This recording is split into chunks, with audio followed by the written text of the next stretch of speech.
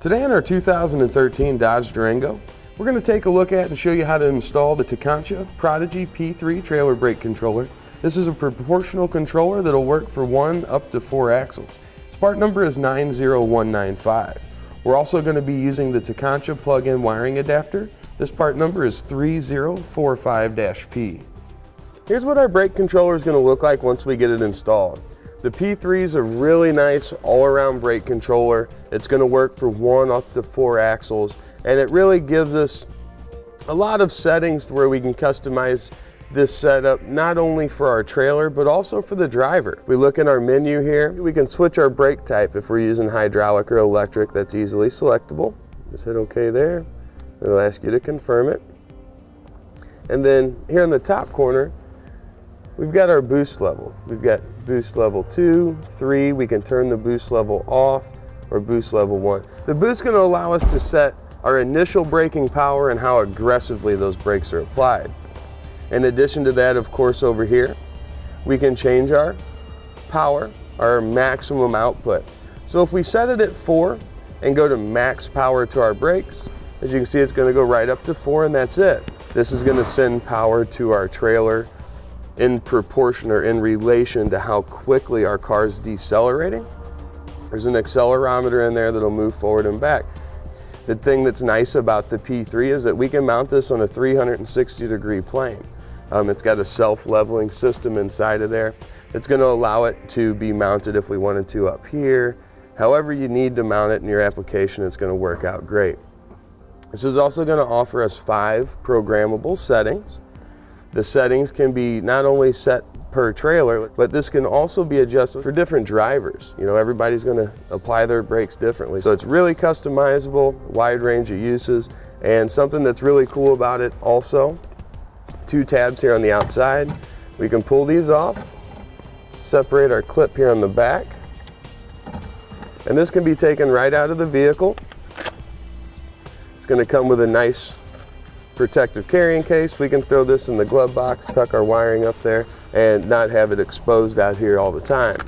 When we need it, we'll pull it right back out, slide our connector into place, and just reposition it right on our bracket. It's as simple as that. It's registering here. We've got our trailer hooked up and we're gonna be ready to go.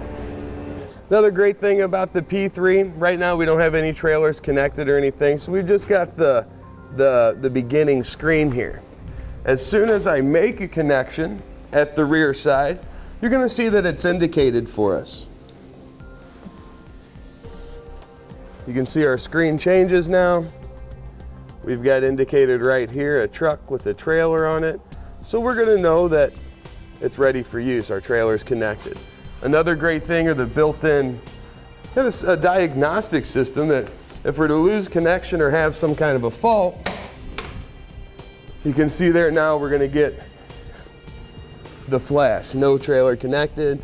That's gonna indicate that to you that you've got some kind of issue that needs to be addressed. Now our installation is gonna begin by removing this.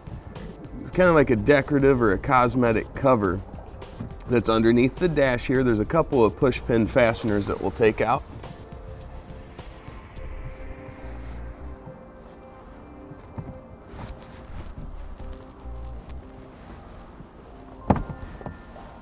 There, over here.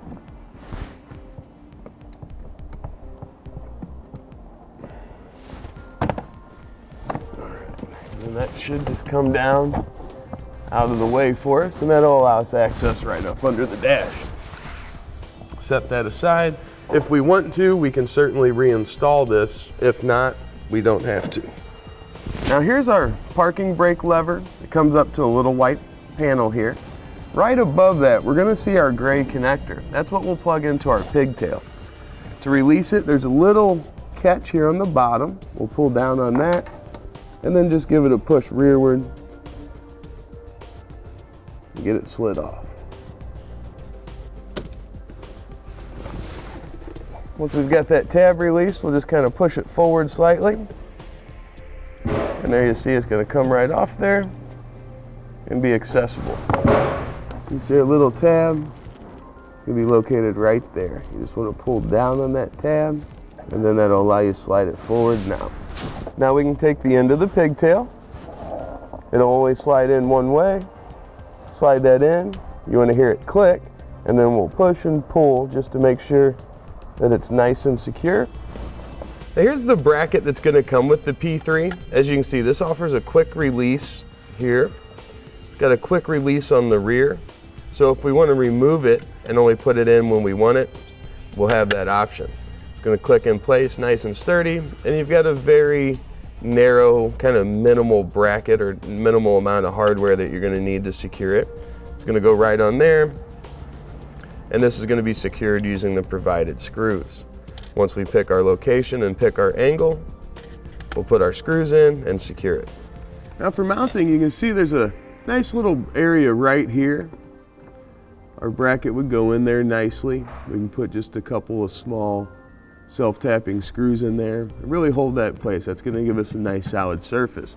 As an alternative, you can bring it up here on your dash, wherever you'd like to have this mounted. If you want it up here high to keep it closer to you, or wherever you'd like to mount it, that's your option. I always like to keep them down here, that way we're not modifying anything up here. But the choice is yours, my friend. Now to secure it in place, we'll use the hardware provided. They're just a couple self-tappers.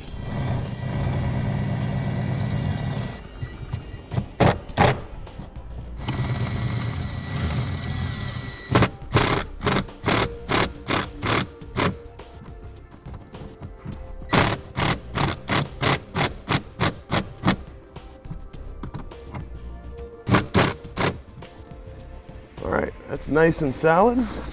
Now let's bring our brake controller bracket into play.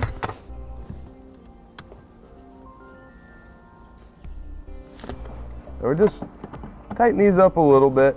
It'll give us a little bit of friction, but not so much we can't move it.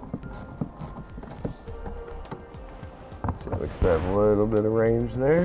Now we'll bring in the brake controller itself to make our connection here on the back side Clips right in there, almost like it was made to do that. Now we'll position the back side up in our bracket and just tip the front, oops. Just tip the front up and it'll clip in here on this side, at the top, and on my side as well. All right. Let's figure out how we want it positioned here kind of like to keep them up. You know, of course, we've got our brake pedal here, so we don't want to be too far down. Okay, just put your foot in there and test how you, you're going to be moving. Let's see, that's all the way up. There's really no issues there with any interference, so we can mount it flush up against the bottom. Now we'll go ahead and secure both of our self-tappers here on the side.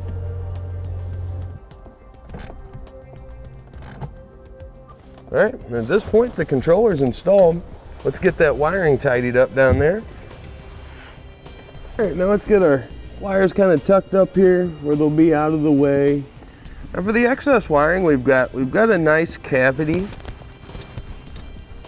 kind of over here that we're going to be able to tuck most of this up into. Here, bring it over just like that. And we don't want to secure to any moving parts or anything like that but we can come to the solid part of the steering shaft up here. Put that wire tie right around there. And that should be perfect. It'll have everything up and out of the way.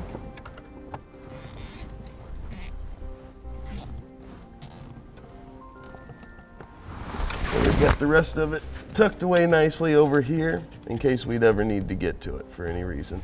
Let's just trim off the end of that zip tie and that'll have it taken care of. With the Prodigy P3 braking controller working as it should on our 2013 Dodge Durango, that'll complete today's look and installation of part numbers 90195 and 3045-P.